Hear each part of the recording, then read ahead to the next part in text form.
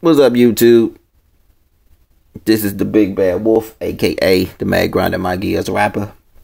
And today, I'm a little bit grinding because of some of the comments I've seen about Treadwell breaking his leg. It was pretty, pretty gruesome. They said, you know, he should have held on to the ball for maybe a second. He broke his leg if you gonna break your leg, you gonna worry about breaking your leg and not your leg being broken at that damn football. He did what any normal person would have supposed to do. Sure, he probably wanted to hold on to the ball himself, but like I say, his leg was more important than anything else. He broke his damn leg. Fuck this football. He broke his leg. Do you understand? He broke his leg. People, he should have held on to the ball just for a split second. Yeah, yeah, yeah. No, you shouldn't have said he should have. You said you should have wished he or he you wished he could have. Now he should have. That's pretty fucked up saying he should have. He shouldn't have done nothing. Stage hand play this because I'm gonna show it by my by itself too, and I'm gonna show it with my commentation because it's me commentating right now because it's my damn channel. But okay, press the play button. Here it is right here.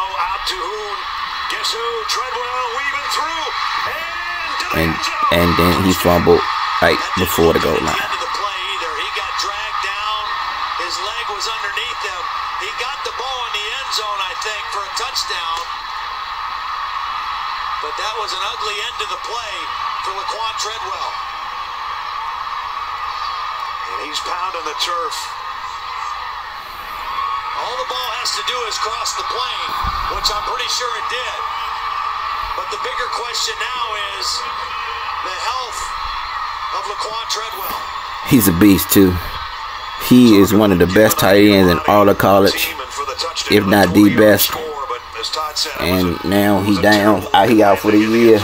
And they got a long recovery from this. And they're going to show it again. Of course, they got to keep showing to see if he actually scored a touchdown. And people like, he should have held onto the ball right there. But he broke his damn leg, man. School football right there. I know he probably wish he could have done it, but things happened and he broke his damn leg. And I'm mad at the people talking about it right there. You see that? Yeah, I mean, I wish he could have. It would have made it a little better for him that he actually scored the touchdown and won the game and could have prepared them to the championship. But it happens. I'm wishing the best for this man and you know his recovery and and everything because I want him to be in the NFL because he's a good tight end. He's probably a good person too. But his leg is broke now. He's out for the season, and then you see it right there. It's pretty gruesome, pretty graphic, and it's HD. You know, we want to see high definition breakage and everything. We like that high definition still high. We can see everything.